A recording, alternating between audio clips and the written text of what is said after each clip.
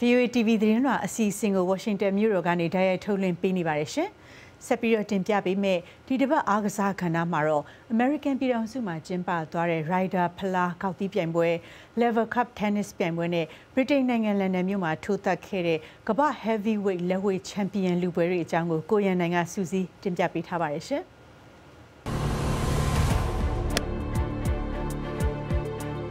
အမေရိကန်နဲ့ဥရောပတိုက်ကဂေါက်သီးသမားတွေနည်းနည်းတစ်ချိန်ရှင်ပြိုင်ကြတဲ့ Ryder Cup ဂေါက်သီးပြိုင်ပွဲကိုတော့အမေရိကန်နိုင်ငံ Wisconsin ပြည်နယ်မှာပြီးခဲ့တဲ့တောက်ကြနေ့ကနေတနင်္ဂနွေနေ့ထိကျင်းပခဲ့ကြပါတယ်။ပြီးခဲ့တဲ့နှစ်က COVID-19 ကရောဂါကြောင့်ပြိုင်ပွဲကိုမကျင်းပနိုင်ခဲ့ပဲတနစ်ရွှေဆိုင်ပြီးမှအခုနှစ်မှာကျင်းပခဲ့တာပါ။ဒီနိုင်ငံမှာ2018တုန်းကပြီးခဲ့တဲ့ချိန်ကျင်းပတုန်းကတော့ဥရောပအသင်းကအနိုင်ရထားတာပါ။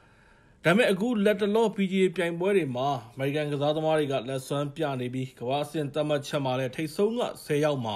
အမေရိကန်က10ယောက်ပါနေတာကြောင့်ဒီတစ်ချိန်မှာအမေရိကန်အသင်းကပိုဆွဲဖို့ပို့ပြီးတော့ရေပန်းစားခဲ့ပါတယ်။ဒီကနေ့ကစားတဲ့ခါမှာလည်းပထမနေ့မှာတော့အမေရိကန်အသင်းက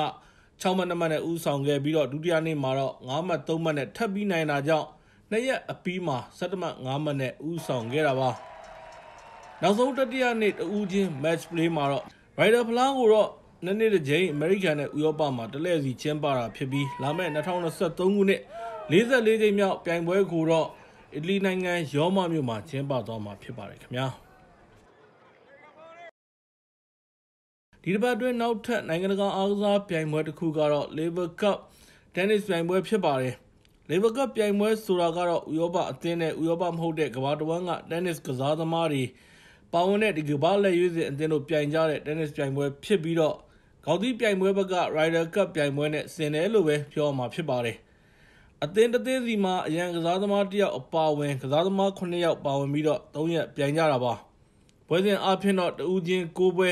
2ယောက်တွဲ3ပွဲပါဝင်ပြီးတော့တရက်ကိုတဦးချင်း3ပွဲနဲ့2ယောက်တွဲပွဲတစ်ပွဲကစားကြတာပါ။ ပြိုင်ပွဲရဲ့အမှတ်ပေးပုံကလည်းပထမနေ့ပွဲစဉ်တွေမှာနိုင်တဲ့သူတွေကတမှတ်ရပြီးဒုတိယနေ့ပွဲစဉ်မှာနိုင်တဲ့သူက2မှတ်တတိယနေ့ပွဲနိုင်တဲ့သူကတော့3မှတ်ရတာဖြစ်ပါတယ်စုစုပေါင်း24မှတ်ရှိပြီးတော့ပြိုင်ပွဲမှာ73မှတ်အရင်ရတဲ့အသင်းကအနိုင်ရတာဖြစ်ပါတယ်ဒီနေ့ပြိုင်ပွဲမှာတော့ဥရောပအသင်းကကမ္ဘာလက်ရွေးစင်အသင်းကို14မှတ်တမှတ်နဲ့နိုင်ပြီးတော့ Lever Cup ဖလားကို၄ချိန်မြောက်ဗိုလ်ဆွဲသွားခဲ့ပါတယ်။ Labour Cup ပြိုင်ပွဲကို၄ချိန်မြောက်ဗိုလ်စွဲလိုက်တာနဲ့ပတ်သက်ပြီးဥရောပရဲ့အသင်းကောင်းဆောင် Bjorn Borg ကတော့ For me personally it's uh, as a captain is uh, the most important week ကျွန်တော်တို့တော့အသင်းကောင်းဆောင်တယောက်အနေနဲ့ဒီသတင်းဘက်ကဒီနှစ်လုံးမှာရေးကြီးဆုံးသတင်းဘက်ပါဒါပေမဲ့ကျွန်တော်တို့အားလုံးချန်ပီယံဆုကိုကာကွယ်ဖို့အတွက်အခုလိုပါဝင်ခွင့်ရတာကိုဝမ်းသာကြတယ်လို့ထင်ပါတယ်ဒီလူ6စလုံးကကျွန်တော်ပြောသလိုပဲအနာဂတ်တင်းနစ်ကစားသမားတွေပါ6ယောက်မဟုတ်ပါဘူးတကယ်တော့9ယောက်ပါ သူတို့မယုံနိုင်လောက်အောင်ကိုအကောင်းဆုံးကစားခဲ့ကြပါလေအသင်းလိုက်အနေနဲ့ပြောရရင်လည်းကျွန်တော်တို့အစွမ်းကုန်ကြိုးစားခဲ့ကြပါတယ် Labour Cup Tennis ပြိုင်ပွဲကိုတော့2019ကမှစတင်ကျင်းပခဲ့တာဖြစ်ပြီးကျင်းပခဲ့တဲ့၄ချိန်စလုံးကိုတော့ဥရောပကပဲပိုးဆွဲခဲ့တာဖြစ်ပါတယ်ခင်ဗျာ Heavyweight Championship of the World on the line လက်ဝဲပြိုင်ပွဲတွေဘက်မှာတော့ဒီတစ်ပတ်မှာကမ္ဘာ Heavyweight Champion လူပွဲကိုထိုးသက်ခဲ့ကြပြီးတော့ Britain ကကမ္ဘာ Heavyweight Champion Anthony Joshua နဲ့ Ukraine ကစိန်ခေါ်သူ Alexander Usyk တို့ Britain နိုင်ငံလန်ဒန်မြို့မှာစနေနေ့ကထိုးသက်ခဲ့ကြပါတယ်။ Anthony Joshua ကတော့ WBO, WBA, IBF နဲ့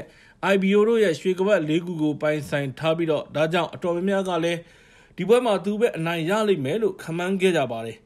ဒါပေမဲ့စနေနေ့ကထိုးသက်တဲ့ပွဲမှာတော့နှစ်ယောက်စလုံးဟာတယောက်နဲ့တယောက်ဘယ်သူမှအလဲမထိုးနိုင်ခဲ့ပဲဇက်နစ်ချီအပြည့်ထိုးခဲ့ကြပြီးတော့နောက်ဆုံးမှာ Alexander Usyk ကအနိုင်ရသွားခဲ့ပါတယ်။ဒါရင်၃ယောက်စလုံးကတော့ Usyk ကို119 112 116 112 115 133မှတ်နဲ့တညီတညွတ်ထက်အနိုင်ပေးလိုက်ကြပါတယ်။ဒါကြောင့် Anthony Joshua ဟာသူ့ရဲ့ချန်ပီယံရွှေကပတ်၄ခုစလုံးကိုလက်လွတ်လိုက်ရပြီးတော့ Usyk ကတော့ကမ္ဘာ heavyweight champion ဖြစ်လာခဲ့ပါတယ်။ ဒီပွဲနဲ့ပတ်သက်ပြီးတော့ Usyk ပြောတာကတော့ На данный момент это самый большой поединок в моей карьере. ခုချိန်ထိတော့ဒီပွဲကကျွန်တော်ရဲ့လက်ဝှေ့သမားတက်တန်းတစ်လျှောက်မှာအကြီးဆုံးပွဲပါ။ဒါပေမဲ့အခက်ခဲဆုံးပွဲတော့မဟုတ်ပါဘူး။လန်ဒန်ကတော့ကျွန်တော်တို့ကံကောင်းတဲ့မြို့ပါ။ဒါပေမဲ့လည်းကျွန်တော်ဘဝမှာအရေးကြီးဆုံးပွဲကတော့အိုလံပစ်ရွှေတံဆိပ်လုပ်တဲ့ပွဲဖြစ်ပြီးဂျေးစားလက်ဝှေ့သမားအဖြစ်နဲ့ထိုးတဲ့ပွဲ ဘယ်ပွဲကမှအဲ့ဒီပွဲထက်အရေးမကြီးပါဘူး